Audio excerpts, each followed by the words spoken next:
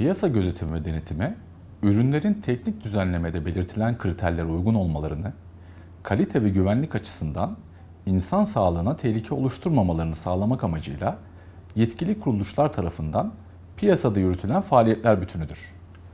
Piyasa gözetimi ve denetimi işlemleri tek bir merkezden yapılmamaktadır.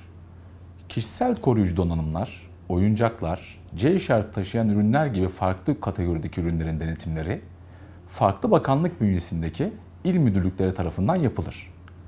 Denetimler, ithalat sonrası şikayet, TAREX müracaatlarının koşullu neti- neticelenmesi veya kurumlar tarafından resen yapılabilmektedir.